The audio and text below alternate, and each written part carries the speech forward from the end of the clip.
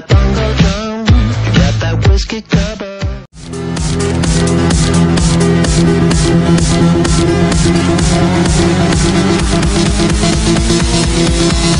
Audio control.